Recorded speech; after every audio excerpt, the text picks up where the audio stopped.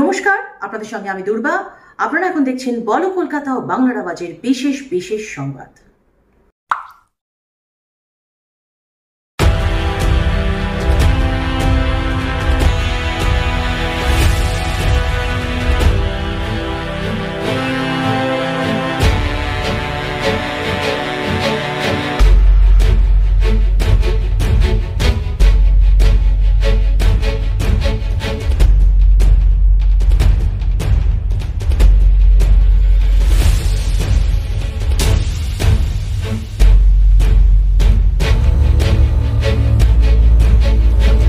বেশ কিছু নিয়মের অভিযোগ উঠল বেলঘরিয়া মিডল্যান্ড নার্সিংহোমে।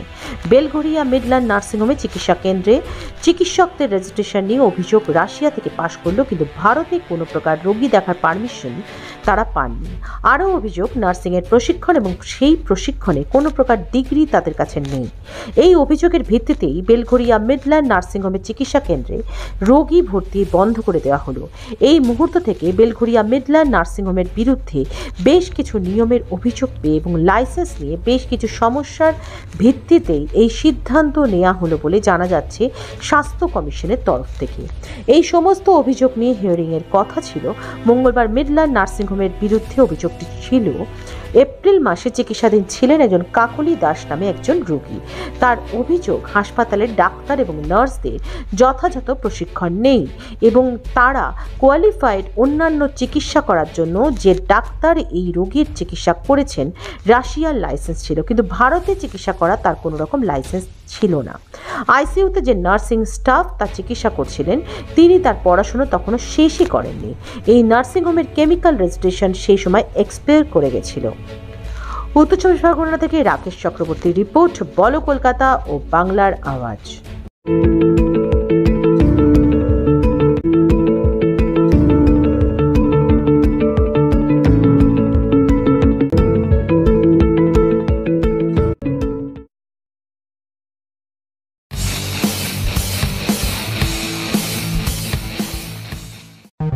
এবারে